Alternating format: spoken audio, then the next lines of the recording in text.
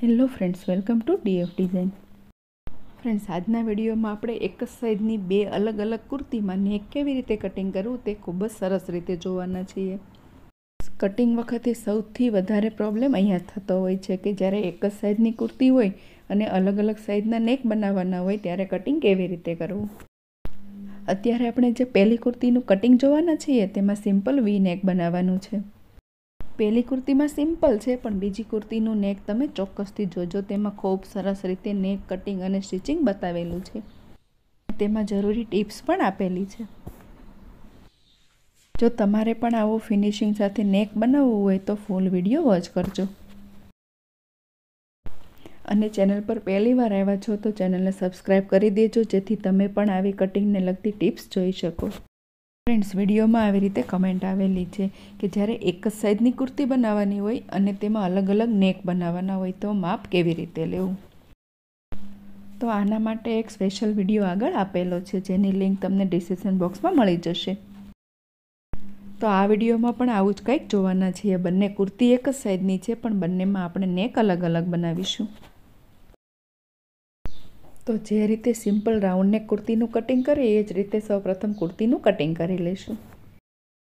Friend જ્યારે કુર્તીમાં વીનેક બનાવવાનું હોય, ત્યારે જે રાઉન્ડ નેક કુર્તીમાં આપણે આર્મોલ ડાઉન કરીએ છીએ, તેના કરતાં અહીંયા આર્મોલમાં માપ પણ અલગ લેવાનું હોય છે.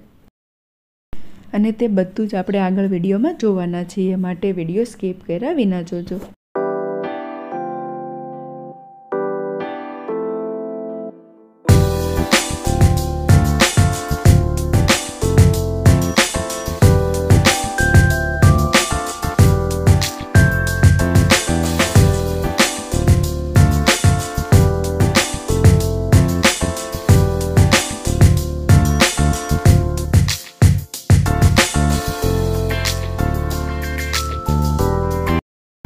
હવે અહીંયા સૌ પ્રથમ આર્મોલ ડાઉન કરીશું, નીચેના માર્કિંગ પછી જોઈશું. તો અત્યારે આપણે વીને કટિંગ કરી રહ્યા છીએ માટે આર્મોલ પોણો ઇંચ ડાઉન કરીશું. અને પછી આ રીતે ક્રોસ લાઇન ડ્રો કરીશું અને તેને સેન્ટર માર્કિંગ આપીશું. અને ફ્રેન્ડ્સ અહીંયા પણ આપણે એક ટિપ્સ જોઈશું. જ્યારે તમે કુર્તી આડત્રીસ સાઇઝ કરતાં નીચેની સાઇઝ બનાવી રહ્યા હો ત્યારે અહીંયા સવા ઇંચ ઉપર માર્કિંગ કરવું અને પછી આર્મોલનો શેપ આપવો.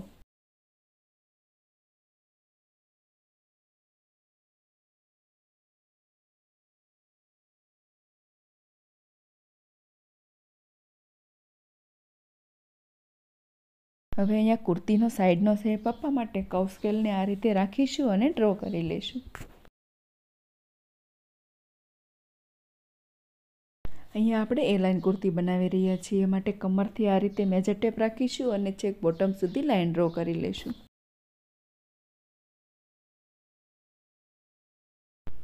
તો અહીંયા આટલા માર્કિંગ કરી લીધા પછી કુર્તીનું કટિંગ કરી લઈશું.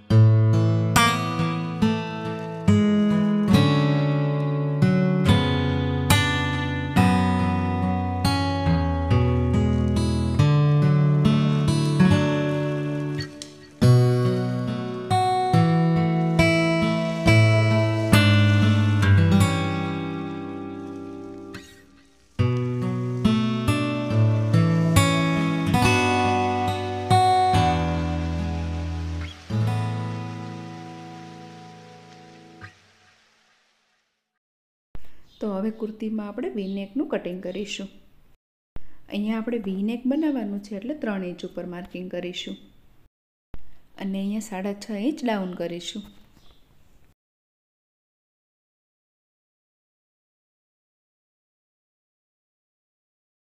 આવી રીતે બોક્સ બનાવી લીધા પછી ફ્રેન્ચ કોર્નનો યુઝ કરી અને વીનેકનો શેપ આપીશું.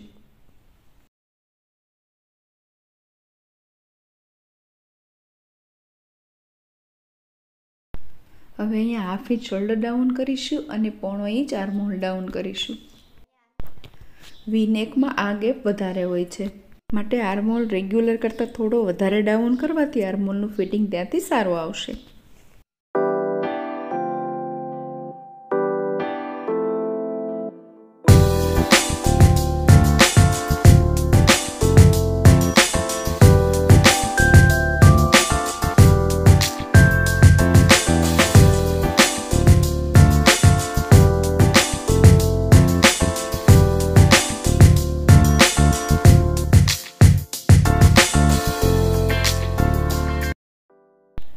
આ રીતે કટિંગ કરી લીધા પછી શોલ્ડર માપીશું અને બેક સાઈડનું નેક પણ કટિંગ કરી લઈશું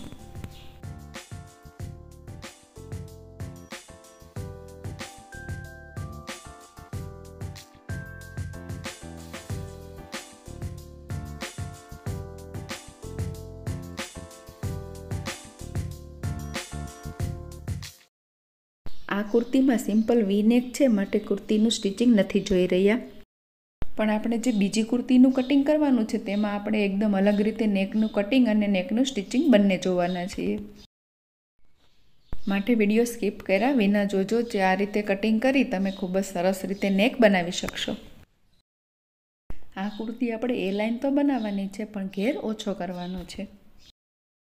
માટે તેનું કટિંગ આગળની કુર્તી કરતાં થોડુંક અલગ રીતે કરવાનું હોય છે. કુર્તીમાં ઘેર ઓછો છે માટે સાઈડ સ્લીટ પણ બનાવીશું.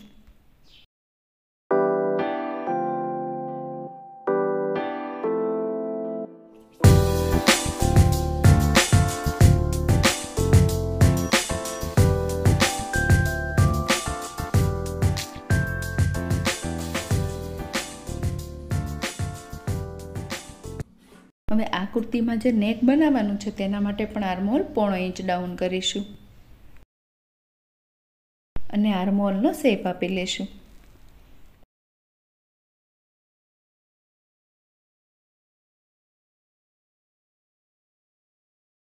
આટલા માર્કિંગ કરી કુર્તીનું કટિંગ કરી લઈશું જેથી ફ્રન્ટ નેક અને બેક નેક બંને અલગ અલગ કટિંગ કરી શકાય.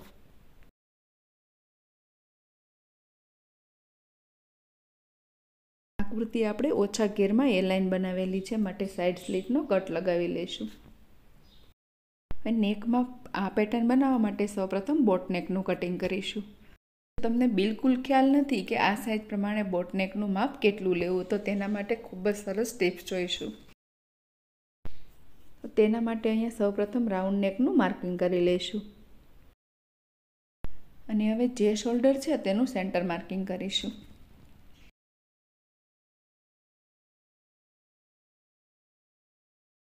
તો અહીંયા હવે જે માર્કિંગ આવ્યું છે તેમાં આપણે સિલાઈનું એડ કરીશું.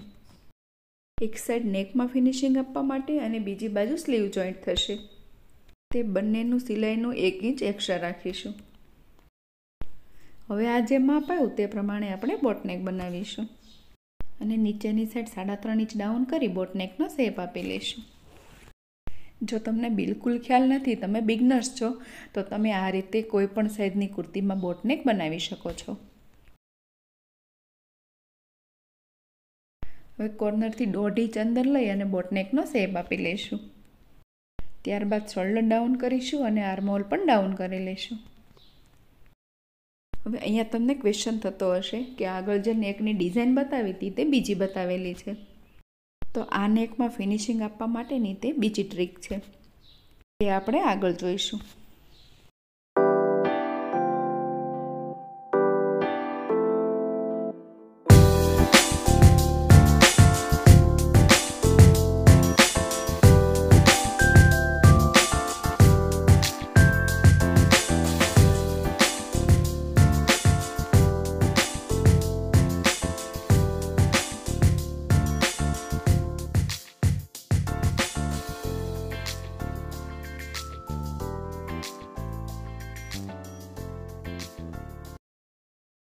આપણે નેકમાં ફિનિશિંગ આપવાનું છે, પણ તે આપણે પછી જોઈશું. સ્લીવમાં આવી રીતે પેટર્ન બનાવેલી છે અને તે શા માટે બનાવેલી છે? હવે કુર્તીનું સાઈડમાં એટલું કાપડ નહોતું બચતું કે જેમાંથી પૂરી સ્લીવ કટિંગ કરી શકાય. એટલા માટે સેન્ટર જોઈન્ટ કર્યા પછી આવી રીતે ત્રણ પ્લીટ્સ લીધેલી છે. જેનાથી સ્લીવમાં ડિઝાઇન પણ બનશે અને પરફેક્ટ સાઇઝની સ્લીવ કટિંગ પણ કરી શકાય. અને સેન્ટરમાં જે જોઈન્ટ લગાવેલો છે, તેનો ખ્યાલ પણ નહીં આવે. તમે પણ આ રીતે જ્યારે કાપડ ઓછું હોય ત્યારે સ્લીવમાં ડિઝાઇન બનાવી અને પરફેક્ટ સાઇઝની સ્લીવ બનાવી શકો છો. હવે જે આપણે નેકમાં ડિઝાઇન બનાવવાની છે તેના માટે સૌપ્રથમ આપણે કેનવસ પેપરમાં કટિંગ કરી લઈશું. તો અહીંયા કટિંગ કરેલી કુર્તીને કેનવાસ પેપર ઉપર આ રીતે વ્યવસ્થિત ગોઠવી લઈશું અને જે નેકનો શેપ છે તે પ્રમાણે માર્કિંગ કરી લઈશું.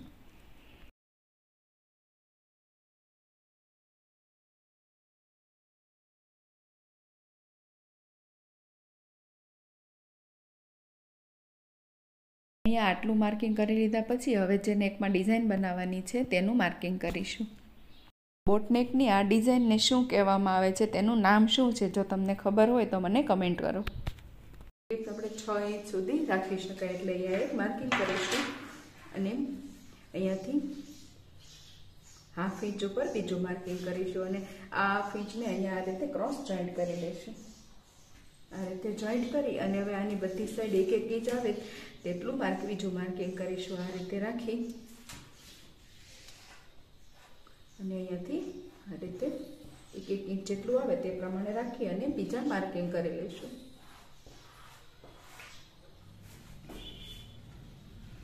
જ્યારે તમારી પાસે નેકનો પીસ ન હોય ત્યારે તમે આ રીતે કટિંગ કરી શકો છો.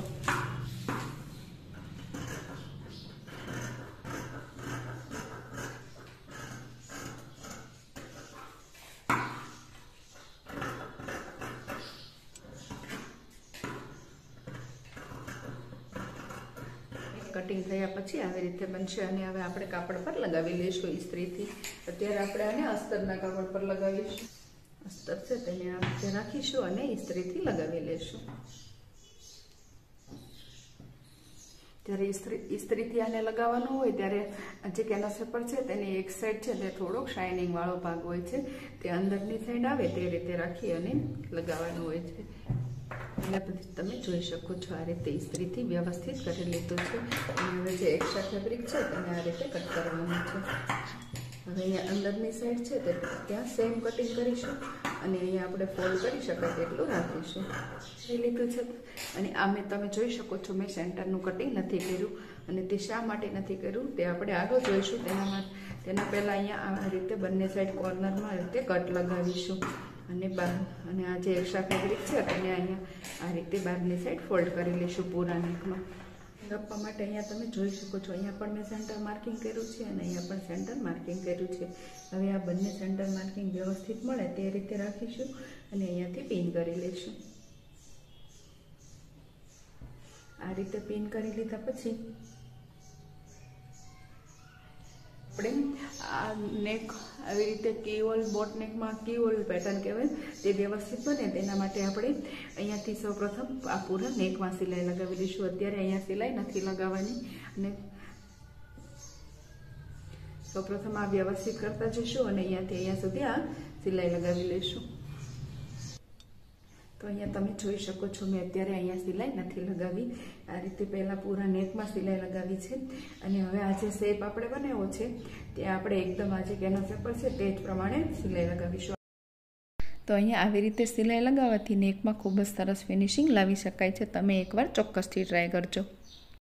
આટલું થઈ ગયા પછી હવે અહીંયા સેન્ટરમાંથી કટ કરી લઈશું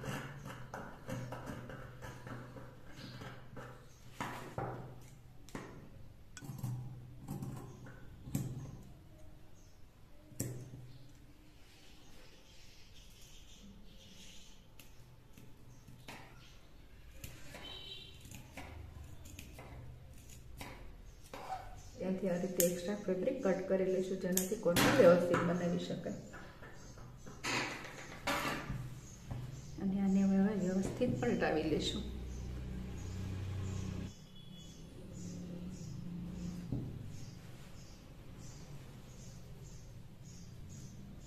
તમે જોઈ શકો છો નેકને પલટાવી લીધા પછી આટલું સરસ રેડી થશે. હવે પૂરા નેકમાં અહીંયા એક દાંતીનું માર્જિન રાખી અને શેપ પ્રમાણે સિલાઈ લગાવી લઈશું. તો આવી રીતે બોટનેકમાં ડિઝાઇન રેડી કરી લીધા પછી હવે આ જે ઓપન છે, ત્યાં તમે આમ પણ રાખી શકો છો અથવા તો અહીંયા બી દોરી બનાવી અને ત્યાં તે પણ બનાવી, લગાવી શકો છો. અથવા તો જો તમારી પાસે આવું કોઈ નાનું બટન હોય, તો અહીંયા તમે લૂપ બનાવી તે બટન પણ લગાવી શકો છો. સેન્ટરમાં આવું મોટું, અહીંયા સેન્ટરમાં પણ આ રીતે નાનું એવું મોતી લગાવી શકો છો. અથવા તો જો આવું કોઈ તમારી પાસે આવું કોઈ બટન હોય તો અહીંયા તે પણ લગાવી શકો છો. અત્યારે મને આ વધારે સારું લાગે છે તો તે લગાવીશું. છો અત્યારે આપણે આવી રીતે મોતી લગાવવાનું છે. અમારી પાસે આવું યલો કલરમાં જે ડિઝાઇન છે તેવા કલરનું મોતી છે તો મેં તે લગાવેલ છે.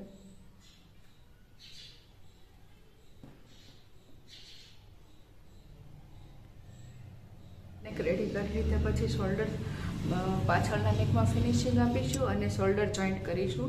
શોલ્ડર જોઈન્ટ કરવાની પણ મેં એકદમ નવી રીત બતાવેલી છે કે સાચી રીતથી શોલ્ડર કેવી રીતે જોઈન્ટ કરવાના હોય તેનો વીડિયો પણ આગળ આપેલો છે.